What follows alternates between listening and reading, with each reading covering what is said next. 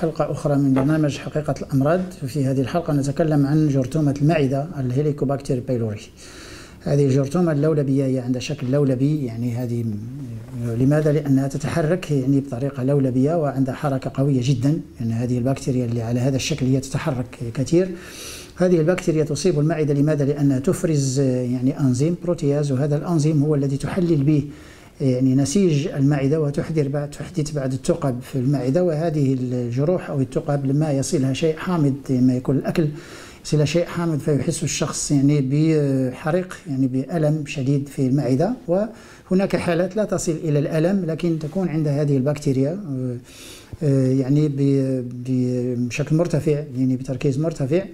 وهي البكتيريا الوحيدة التي تسبب سرطان بعد مدة طويلة. يعني سرطان المعدة هذه تتسبب في سرطان المعدة إذا لم يتم علاجها يعني بعد سبعة وعشر سنوات.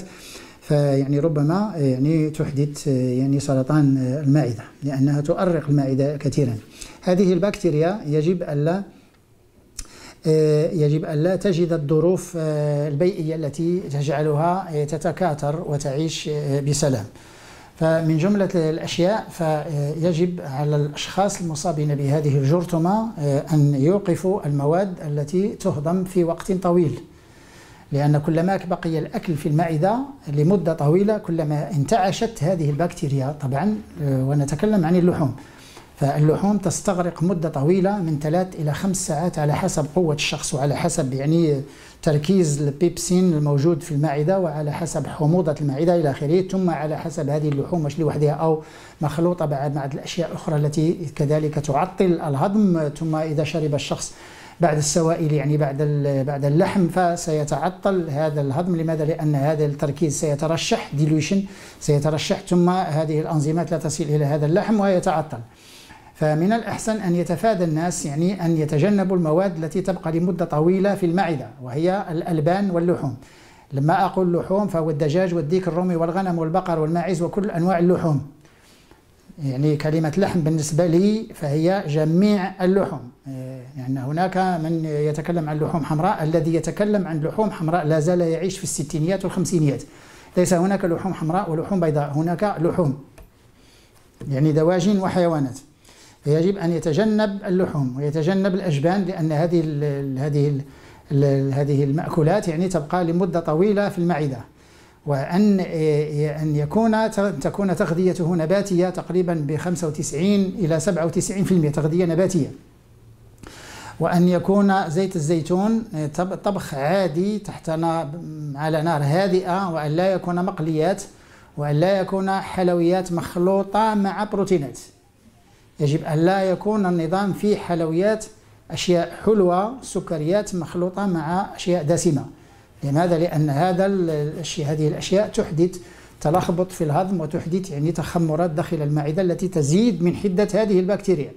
هذه ثم أن يكون الأكل خفيف ونباتي وبسيط وسهل الهضم. ثم لا بأس أن تكون هناك وجبات متعددة. لا بأس تكون وجبات صغيرة متعددة لا بأس يعني ليس هناك مشكل. الأشياء التي تحد من هذه البكتيريا هو النظام النباتي. الأشياء التي تحد من هذه البكتيريا وتجنب اللحوم والألبان الأشياء التي تحد من هذه البكتيريا ممنوع ال processed food ممنوع المواد المصنعة لأن هناك مضافات غذائية هناك مضافات غذائية وهناك كيماويات تزيد تؤجج هذه البكتيريا. فمن الأحسن أن يتجنب الشخص جميع المواد المصنعة من نقانق ومن أجبان ومن زيوت وحلويات وبسكويتات والآيس كريم. هذه يعني القشتات والاشياء كلها ممنوعه على أصحاب هذه البكتيريا. يجب أن يأكلوا طبخ المنزل وأن يقتنوا أشياء طبيعية والشخص إذا أحس بالجوع من الأحسن أن يأكل فواكه فواكه جافة أو فواكه طرية يعني عوض ما يشتري يعني بسكويتة أو شوكولاتة أو اشياء يعني يأخذ فواكه أو يأخذ يعني سلطة خضر أو أشياء هكذا يكون أحسن. ثم هذه البكتيريا يعني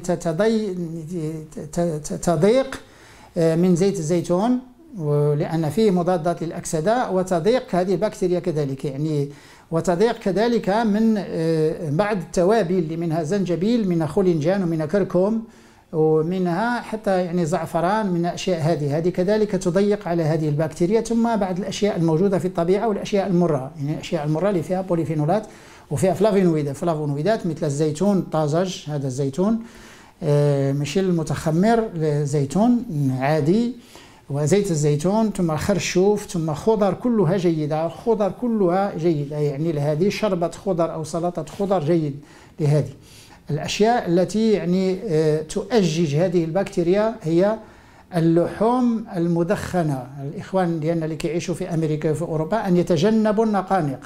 اللحوم المدخنة النقانق وحتى الأسماك الدول الإسكندنافية فيها أسماك مدخنة. يعني أن يتجنبوا جميع اللحوم وجميع جميع ال processed food يعني وهذه اللحوم المصنعة اللحوم المصنعة هي تشجع هذه البكتيريا. من الأحسن يعني ألا يغسل الناس يعني أسنانهم بهذه معجون الأسنان فيه الفليورايد. من الأحسن أن يشتروا معجون الأسنان فيه فليورايد أو أن آه، يغسلوا الفم ببعض الأشياء الطبيعية مثل القرفة مثل يعني أوراق الزيتون مثل أشياء هكذا مثل الزعتر يعني يغلوا زعتر ويمضمضوا به يغسلوا الفم بأشياء طبيعية وأن يتجنبوا هذه لماذا؟ لأن الفليورايد هذا معجون الأسنان ربما الفليورايد يتسرب إلى المعدة والفليورايد هو يأجج يؤجج هذه البكتيريا كذلك ماء الصنبور أن يتجنب الناس ماء الصنبور وأن يشربوا مياه معدنية أو مياه مفلترة أو يعني مياه مقطرة إذا كان ممكن لا بأس أو حتى في البوادي مثلا هناك عيون وآبار إذا كانت هذه هذه المياه يعني لا تعالج بال chloride بال chloride بالكلور غاز الكلور وبال الكلوراين علينا. الكلوراين مع الأسف الآن هي معممة الآن في العالم هي التي يعني تعالج بها المياه ولكن المياه غير معالجة بالكلوراين مياه كذلك غير محتوية على الفلورايد. ثم الملح أن ينقص الناس من الملح. والملح التي تستعمل في النقانق هذه يعني الملح المخلوط بالنيتريت ال salpêtre في أوروبا كيسموه ال salpêtre هذا الملح يعني الملح المطبخ مخلوط بالنيتريت هو الذي يستعمل في النقانق فهذا يشجع ويعني يجعل هذه البكتيريا يعني تهيج يعني يعني يعني بقوة. هذا النظام النباتي النظام بزيت الزيتون نظام بطبخ المنزل نظام جيد نظام فيه توابل جيدة في أشياء كلها هذه جيدة. بعض المنتوجات كذلك تضيق على هذه البكتيريا المنتوجات يعني تضيق على هذه البكتيريا اللي منها يعني شهد النحل منها عكبر بروبوليس إخوان ديالنا في أمريكا وفي أوروبا. على البكتيريا هذه من ال Helicobacter بالي pylori الآن موجودة في إفريقيا وفي آسيا وفي كل الدول. ولكن إخواننا اللي في أمريكا وأوروبا عندهم يعني حتى دول الخليج هذو الجالية المغاربية اللي في دول الخليج كذلك عندهم هذا أكبر النحل هذه بروبوليس فهذا البروبوليس هو يباع كبسولات يعني أربع كبسولات في اليوم مع هذا النظام النباتي الذي تكلمنا عنه. إن شاء الله يكون خير. إنما ممنوع منعا كليا الأشياء الباردة التي تخرج من الثلاجة مياه أو أي شيء بارد. ممنوع الأشياء الباردة لأن هذه الأشياء الباردة هي تتعطل في المعدة حتى تصل إلى درجة 36 والأغذية التي تتعطل في المعدة هي الأغذية التي تشجع هذه البكتيريا. يجب أن يشرب الماء دافي وأن تكون هناك أشياء بسيطة وأشياء نباتية وإن شاء الله ليس هناك مشكل. ثم يجب آه، أن آه، يباعد الناس هذه الوجبات وأن لا يأكلوا ليلا. من الأحسن أن لا يأكلوا ليلا لأن هذه وجبات الليلية هي التي تزيد يعني في مشكل هذه البكتيريا وأن لا يأكلوا في حالة قلق. أعيدها ثلاث مرات. الأشخاص اللي عندهم ال Helicobacter pylori يعني هذه عندهم بكتيريا المعدة ممنوع عليهم الاكل أثناء الضجر أثناء القلق. يكون شخص موتر ومقلق ممنوع الأكل. يجب أن ينتظر حتى يهدأ ويعني الأعصاب تكون جيدة ثم يأكل براحته يعني ما عندناش مشكل. هذه البكتيريا كذلك بعض الأدوية كذلك تؤججها.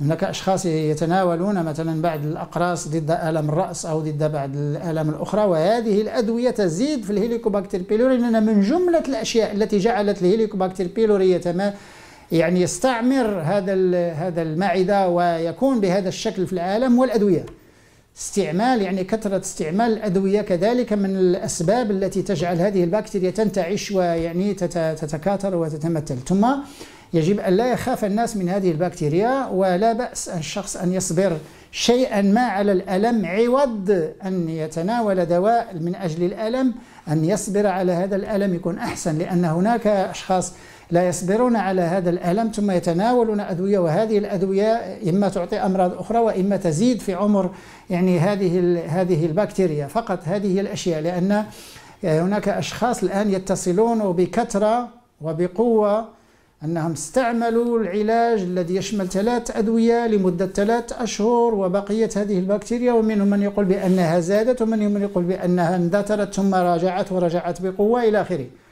فليكن هذا ال هذا ال هذه المعلومات التي أعطينا نحن لا نتدخل في العلاجات الطبية. نحن نتكلم عن نمط العيش الذي يريح الناس وعلاقة نمط العيش بهذه الأغذية.